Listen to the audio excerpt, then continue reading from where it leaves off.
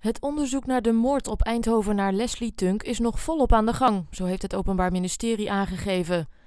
Eind december werd de hoofdverdachte in deze zaak, een 40-jarige Eindhovenaar, samen met vier familieleden opgepakt tijdens een inval op een woonwagenkamp in de Brabantse lichtstad.